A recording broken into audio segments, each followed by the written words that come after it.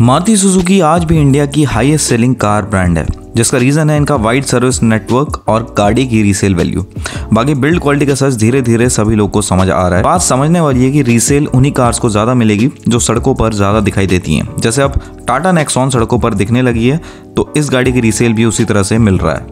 इसलिए safe cars को लेना शुरू किया जाएगा तो रीसेल भी उसी हिसाब से मिलनी शुरू हो जाएगी। बात करी जाए बलेनो की तो पुरानी बलेनो ने सभी एक्सीडेंट में काफ़ी बुरा परफॉर्म किया है, और इस कार के एक्सीडेंट्स में भयानक हाल कई बार देखने को मिल चुके हैं। नई बलेनो में कुछ इंप्रूवमेंट बिल्ड क्वालिटी को लेकर दिखाई दिए हैं, पर मारुति का इन कार्स को आज तक क्रैश टेस्ट ना करवाना आज भी डाउट क्रिएट करता है। आज वापस बलेनो को एक ऐसा ही एक्सीडेंट सामने आया जहाँ गाड़ी पूरी तरह खत्म हो गई है। ये एक्सीडेंट भुवनेश्वर से रिपोर्ट किया गया है, जिसे कनक न्यूज़ ने भी शेयर किया था।